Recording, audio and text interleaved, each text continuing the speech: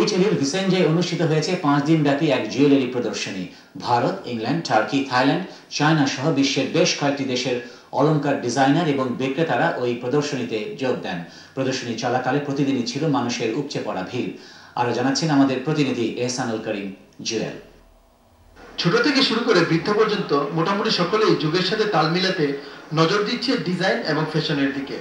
পোশাক আশাকের পরেই মানুষের নিত্য প্রয়োজনে বা ফ্যাশনের দিকে লক্ষ্য রেখে অলংকার অনেকটা মৌলিক চাহিদার দিকে ধাবিত হচ্ছে।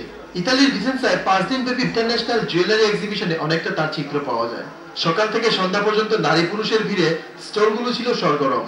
ইন্ডিয়া, ইংল্যান্ড, তুর্কি, থাইল্যান্ড, চায়না ছাড়াও বিশ্বের নানা প্রান্ত থেকে আগত অলংকার ডিজাইনার এবং বিক্রেতারা দু হাজার আট সালের নিউ কালেকশন নিয়ে সাজিয়েছিলেন তাদের স্টল।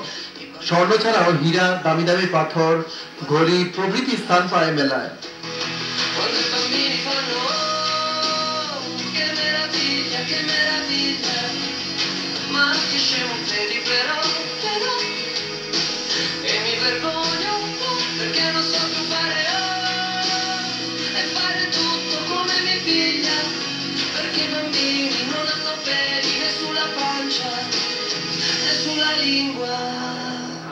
আন্তর্জাতিক বাজারে নিজেদের পণ্য প্রদর্শিত করা ব্যবসার জন্য খুবই লাভজনক মনে করে অলংকার বিক্রেতারা ভবিষ্যতে আবারও অংশগ্রহণের প্রত্যয় ব্যক্ত করেন। নারীর সৌন্দর্য অনেক বাড়িয়ে দেয় তার অলংকার। ফ্যাশনের দিকে লক্ষ্য রেখে অনেক পুরুষও তার পছন্দের ডিজাইনটি বেছে নিলেন এই প্রদর্শনী থেকে। তবে ব্যবসায়ীরা মনে করেন, এরকম একটি প্রদর্শনী ডিজাইন এবং ফ্যাশন পিপাসু প্রতিটি মানুষের জন্য এক বিরাট ভূমিকা রাখবে।